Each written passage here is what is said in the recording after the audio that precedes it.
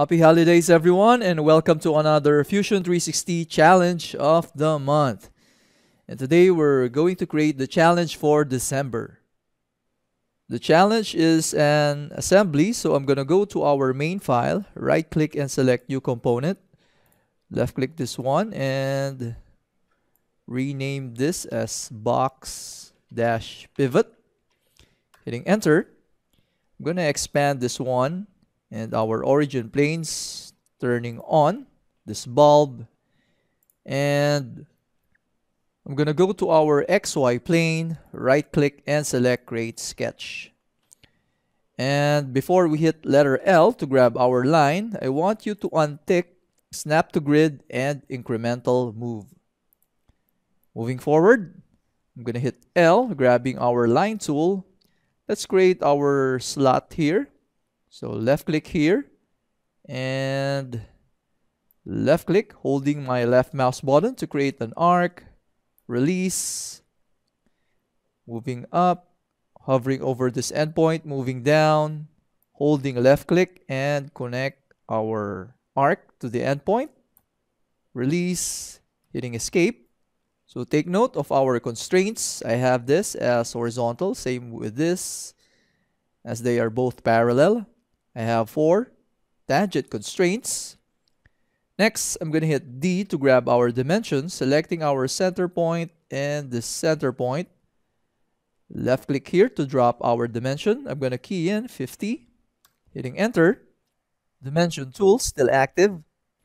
Next, selecting this arc, dropping our dimension here. I'm going to key in 8, hitting enter. I'm going to zoom in Hit C to grab our circle, create a circle on this center point. The diameter to be 8, hitting enter, hitting C once more, creating another circle here. Left click, I'm going to hit escape and select the circle, control left click the circle, right click and select equal. Let's now position the center of our slot to our origin and to do that, I'm going to create a line from the center point up to the center point, hitting escape, selecting this horizontal line and hitting X, making this as a construction line, reselecting our horizontal line, holding control and selecting our origin, left click, right click and select midpoint. So inspecting, trying to move our corners to check if our sketch profile is fully constrained, and yes it is. Another awesome indication that our sketch profile is fully constrained is by going to our preferences, going to preview, and selecting sketch. And from here, I'm going to select no thanks for now and hit OK hitting E to grab our extrude tool and prompted to select a profile, selecting the sketch profile, going to our home view, and for the direction, I'm going to select symmetric. For the measurement, selecting whole length, and the distance to be 6. Operation new body and hit OK. Let's move to our YZ plane, selecting this one right click and select create sketch. Hitting L to grab our line. Let's create a line from here. I'm going to hold my left mouse button to create an arc release. Creating an arc release. And left click here. Hitting escape. Next, I'm going to create a line from the midpoint. So take note of the triangle left click, moving up, and left click, selecting this vertical line and hitting X, making this as a construction line. Next, I'd like these three endpoints to be aligned horizontally. So going to horizontal vertical, selecting this point and this point, this point and this point.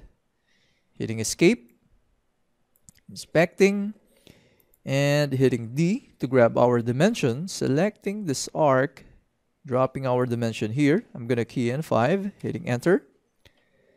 Next, going to constraints and selecting tangent, selecting this line and this arc, this arc and this line. Hitting escape. Next, I'd like this point to be aligned vertically with our origin. But first, I'm going to go to our constraints, selecting equal, making our arc and this arc equal. Hitting escape, going back to constraints and selecting horizontal vertical, selecting this point and our origin. Hitting escape and hitting D to grab our dimension. I'm going to select this line and this endpoint, dropping our dimension here. As it says on, a, on our drawing, it's 5 all around. Keying in 5 and hitting enter. Next, hitting D, selecting this edge and this endpoint, dropping our dimension here. I'm going to key in 47. Hitting enter. Hitting escape and inspecting, hitting D. So I have selected this endpoint. So selecting this endpoint as well, dropping our dimension here. I'm going to key in 16. I'm not sure if this is 16 or 15.